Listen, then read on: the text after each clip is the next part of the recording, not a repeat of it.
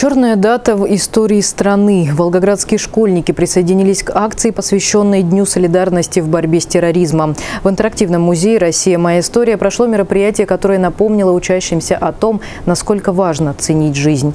Подробнее в нашем следующем сюжете.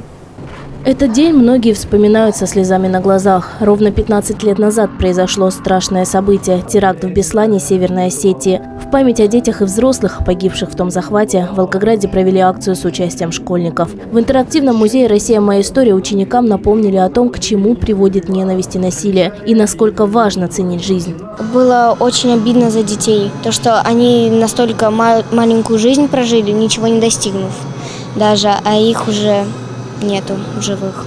Мы иногда посещаем такие мероприятия, и про это нельзя забывать. И мы всегда помним об этом, нам всегда рассказывает наш классный руководитель. Он учитель истории.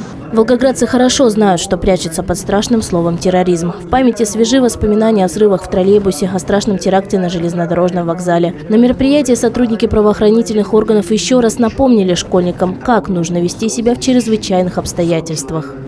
Нельзя принимать пакеты, сумки и даже подарки от посторонних людей. Ни в коем случае нельзя трогать никакие предметы, оставленные на улице, в магазинах, в общественных местах. Даже если это игрушки или сотовые телефоны. Надо знать, где находится ближайшая больница, либо поликлиника, на случай, если вы или кто-то из ваших близких или знакомых получили ранение, либо увечья.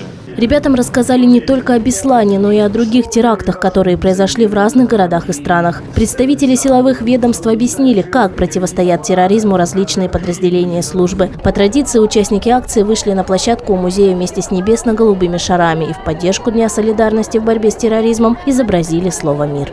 Сабина Саблина и Городковский телеканал «Волгоград-1».